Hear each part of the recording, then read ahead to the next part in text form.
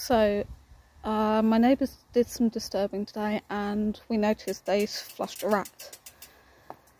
And basically, the minute I saw it, I put out the grab trap and I don't want to spook it too much. But this is a humane trap and I have a rat.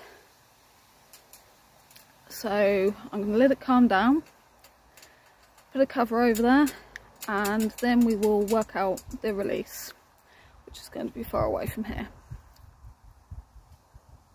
But I can happily say these humane traps do catch rats.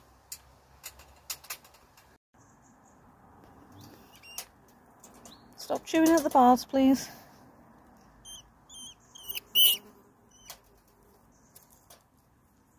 Would you sit still?